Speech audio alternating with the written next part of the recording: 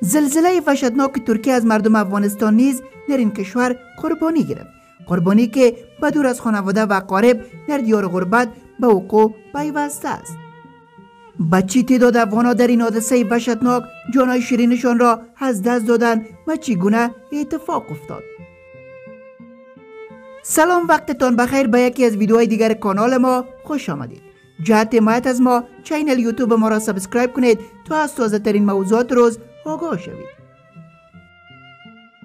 با گذشت بیش از 48 ساعت از وقوع زمین لرزه مرگبار در مناطق مرزی ترکیه و سوریه شمار تلفات همچنان در حال افزایش است. بر اساس آخرین آمار در این دو کشور تا اکنون دست کم 7794 نفر جان باختند بر اساس تفکیک آمار شمار جان باختگان زمین لرزه در ترکیه به 5894 نفر رسیده. و شمار زخمیان نیز به 34810 نفر افزایش یافته است. در این کشور تا اکنون حدود 8000 نفر از زیر آوار نجات داده شدند.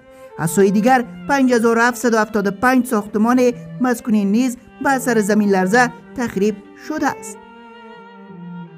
تلفات زلزله روز دوشنبه در ترکیه و سوریه به 11700 نفر افزایش یافته است. آخرین آمار نشان می دهد که در اثر این زلزله 9057 نفر در ترکیه و 2662 نفر در مناطق تحت کنترل دولت و شوریشان در سوریه کشته شدند. اما کارشناسان راز دارند که ممکن این آمار در روزهای آینده دو برابر شود. این در حال است که مردم در برخی ساعت زلزله زده از پاسخگویی بطی خدمات اضطراری حکومتی شکایت دارند.